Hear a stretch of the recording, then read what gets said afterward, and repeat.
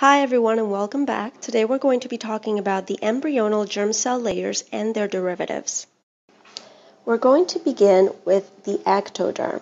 The ectoderm has a lot to do with um, the surface or the nerves. Nerves including the CNS, the PNS, and also the neural crest cells. But we're going to combine all of that into this one drawing. So meet Iris. Iris is a shy but pretty girl with many features that people often find attractive, such as her luscious hair, her pretty nails, her glowing skin due to those melanocytes, gorgeous eyes, down to the iris, cornea, the lens, and all the way in to her retina and the optic nerve. Her nose is very sensitive and pretty. She's got gorgeous lips beautiful cheeks, and a set of pearly white teeth. She's got some ears ready to listen to all of the proposals from attractive guys trying to date her.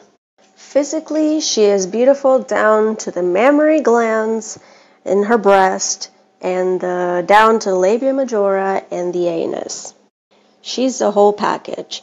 Now, about her personality, she is a little bit nervous about this whole dating thing. It's been a while. So her exocrine glands are activated. She's sweating, her adrenal medulla is secreting all of this norepinephrine and adrenaline. And she's also a sensitive girl, so you have to be mindful and respectful. You don't want to make her cry. Her lacrimal glands are very sensitive. And she is also soft and gentle, just like the pia and arachnoid mater in her brain.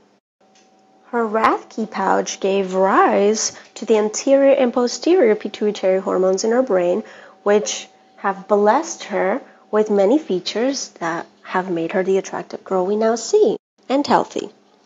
And lastly, she has gotten a wonderful night's sleep because her pineal gland has produced so much melatonin.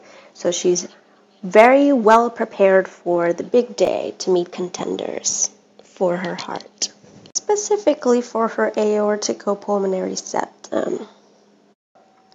Moving on to our first contender, we've got Mr. Smooth, and he is the hunk with the big muscles. His notochord has given rise to a beautiful straight spine. His muscles all over his body are defined with the exception of the muscles of the iris, because of course he doesn't have her yet. But you know what? His heart is set on this girl all the way through his body in his blood and lymph. And you know how girls like those veins. Much like his hard headed personality, like the dura mater of his brain, he's got tough skin like dermis. He does take artificial steroids. Therefore, his adrenal cortex is a little confused on how to regulate the cortisol in his body. But that's okay. His kidneys are taking care of it by filtering out all of these toxins in the body and also the lactic acid produced by working out. His, go- his gonads are up and ready to go. This man built like Hercules himself, down to the ligaments, the bones, the tissues, everything in between, comes up to Iris and manages to get a kiss from her. But little did he know, Iris was actually carrying Mono. So now he has to be careful not to overexert himself or he could get a ruptured spleen.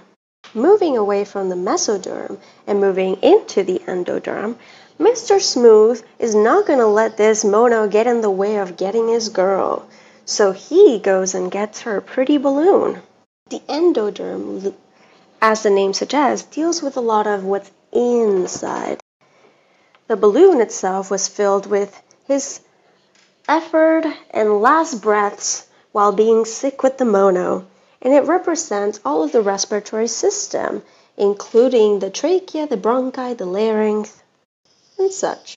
The string on the balloon signifies tubes and tracts like the GI tract, the liver, the pancreas included, many glands, glands like the thyroid gland, the parathyroid gland, the submandibular and sublingual gland, because he's got that jaw. Remember, Mr. Smooth had that like chiseled jaw. It also includes the biliary system, the urethra, all of these tubes in the body, except the posterior parts of the urethra.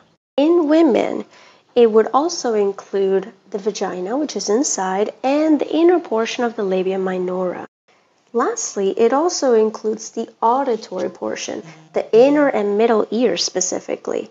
So think of it as this needle about to pop the balloon, that loud popping sound. And that about sums it up.